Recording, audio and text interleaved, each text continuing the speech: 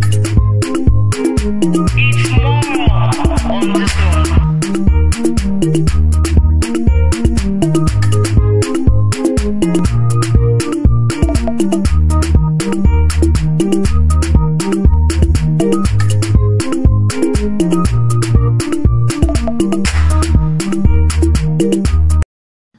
It's a lovely Monday morning right here, and at the same time, it's a very big pleasure being able to come back with our series of Opinion Naija news highlights.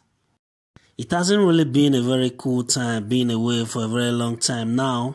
It was due to some circumstances beyond our immediate control, which are gradually being fixed right now. On that note, I once again welcome you all to this episode of our Opinion Naija news highlights. Just stay back and relax as we take you through some of the things shaking the internet in the past few days. Alright, the first one I have here, starting on a very positive note, is Nigerian superstar singer Kizz Daniel, who has said no to smoking.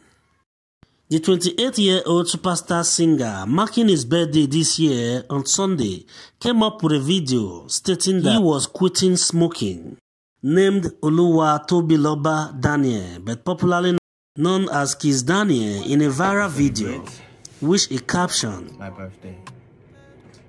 To celebrate my birthday, for the sake of my kids and for those that love me, I quit. I quit. Those of you still struggling with addiction, it is not cool and it is not good.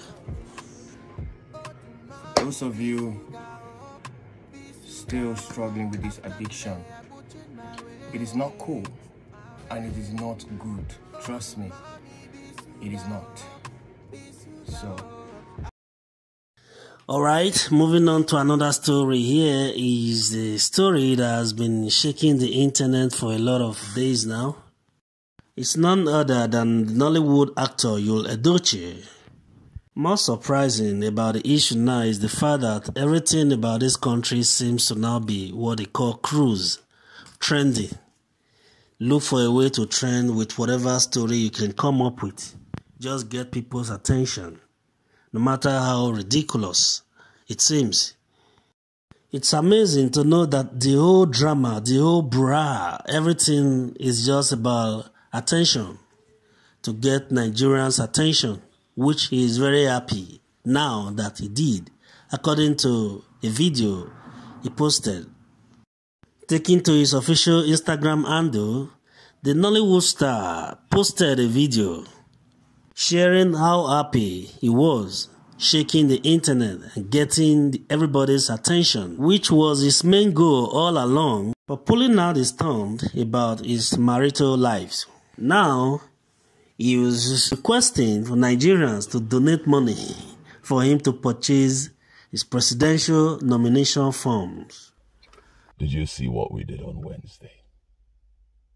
We shook the world and still shaking it. The energy you all apply. Please, I appeal to you.